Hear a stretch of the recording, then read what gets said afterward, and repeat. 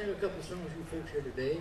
And this was the first one I ever sung on the Grand Ole Opry, and it got three encores there the first time I sung it. And it's entitled The Mule Skinner Blues.